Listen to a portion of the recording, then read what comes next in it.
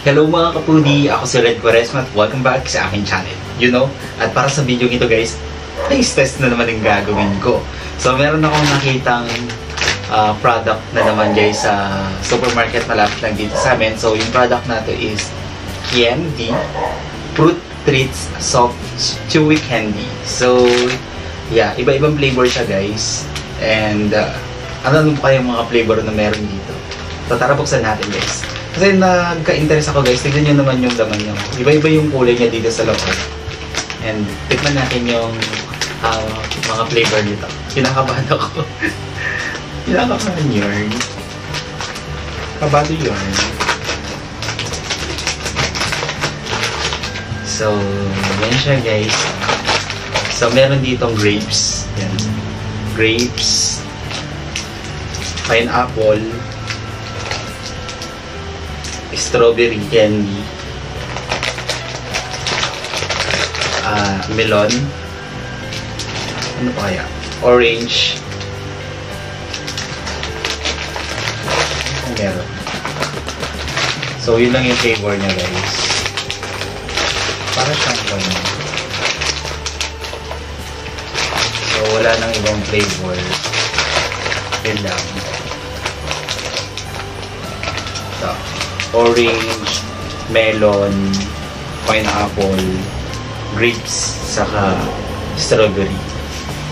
So, tara taste test natin siya. So, start tayo dito kay melon. Melon. Hmm. Sarap na. Parang siyang prutos.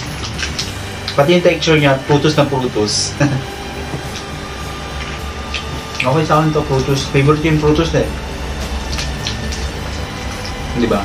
Tayo mga batang 90s, favorite natin yung Frutos. Ah, same lang, same na same sila, pati yung taste, ng texture, lahat-lahat. Packaging lang yung pinagkaiba. Next, orange.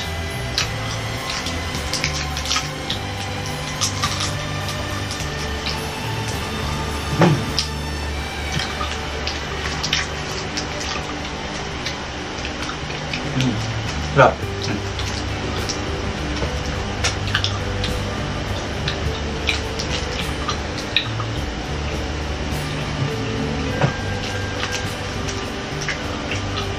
Pineapple.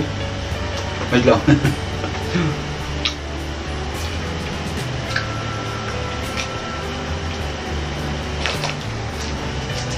Next is pineapple guys. Favorite ko yung kwan. Flavor ng prutos kwan. Um, strawberry. Kayo, comment down below. Same taste. Ang dami niyang laman guys for only 27 pesos lang to. Sobrang dami niyang laman. No? Punong-puno siya. Hmm. Yung pineapple hindi siya ganun kalasa. No? Hmm.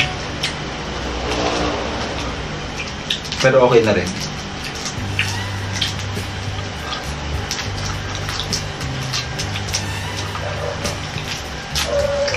Next is grapes.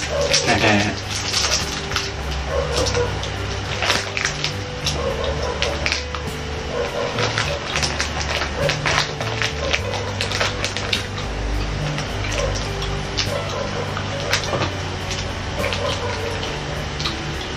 grapes.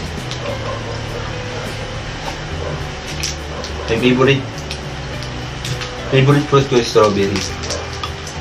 Saka mga flavor ng mga drinks, strawberry.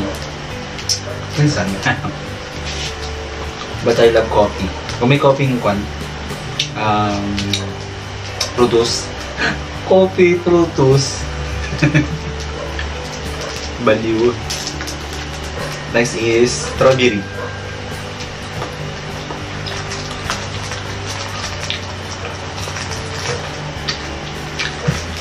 i-rate ko siya, ito, 9 of 9 of uh, 9 out of 10. Goods. Mura pa, ang dami pang laman. And mag enjoy yung mga bata dito sa kanyang mga uh, child at heart like me. okay.